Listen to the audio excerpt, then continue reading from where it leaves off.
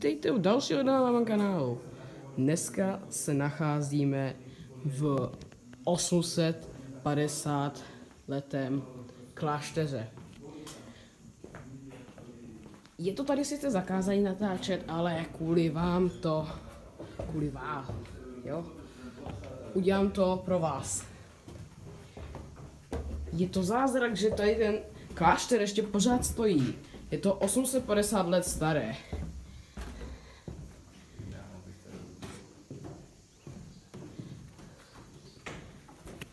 Ještě to nafilmujeme dole.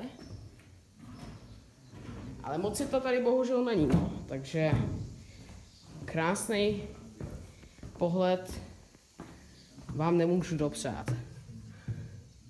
Tady je to trošku zrenovo, zrenovované, ale jinak to je opravdu 850 let staré.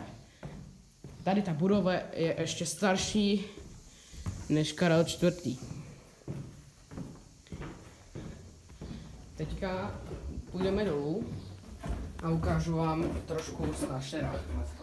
A nesmí nás vidět pán. Aha, no tak nic, tak uděláme potom. Čau.